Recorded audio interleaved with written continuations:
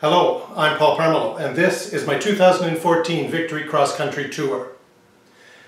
Back in November 8th, 2014, I purchased an RAPB 149U GPS mounting system manufactured from Ram Mounts.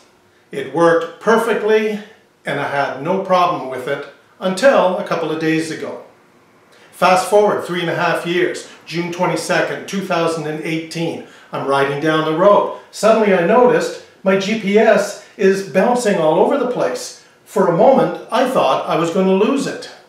Upon closer inspection, I noticed the ball is loose. Now the number on this rail base is RPRB215. That one seems to be replaced by the RAPB 231U. I don't know why.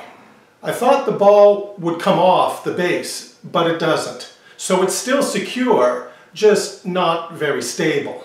Since then, I've picked up the Ram B408 clamp. As you can see from its predecessor, it's much beefier. It easily clamps onto the handlebars. And as you can see, it's a lot more stable. Well, this new clamp should last me many more years. Thank you very much for joining me on another video. Ride safe. I'll see you next time.